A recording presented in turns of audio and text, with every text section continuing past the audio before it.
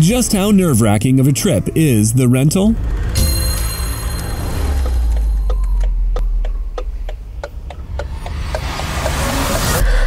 Well, it's unsettling to say the least. In this tense horror thriller, two couples have their weekend getaway turned terribly wrong when they discover they're being stalked. Charlie! Tell me that's not a camera. Expect plenty of nail biting and cringe-worthy moments in this dark story.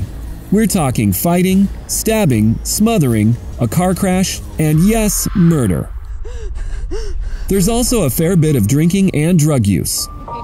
Brief scenes of a cheating couple having sex in the shower that stops short of explicit nudity. Plus, lots of strong language, including multiple F bombs, S words, and more. This will be over soon, I promise.